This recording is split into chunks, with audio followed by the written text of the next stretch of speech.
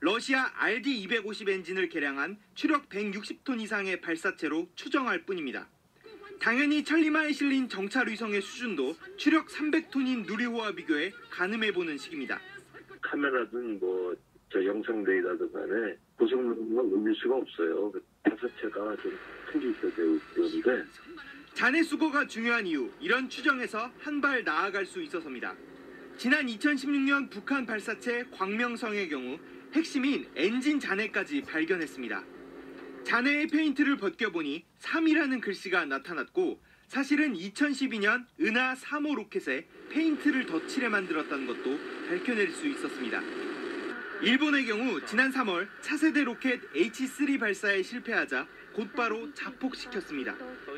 ロケットはミッションを達成する見込みがないとの判断から指令破壊信号を送信しました 엉뚱한 곳으로 날아가 피해를 줄 수 있고 다른 나라에 기술이 유출될 우려도 있어서입니다.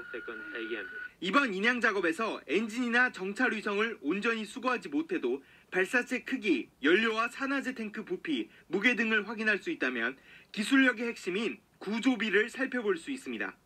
구조비는 추진제를 포함한 로켓의 총 중량과 빈 로켓 중량의 비율을 뜻하는데 누리호가 10% 정도, 미국 스페이스X의 팰컨 9이 6에서 7% 수준입니다.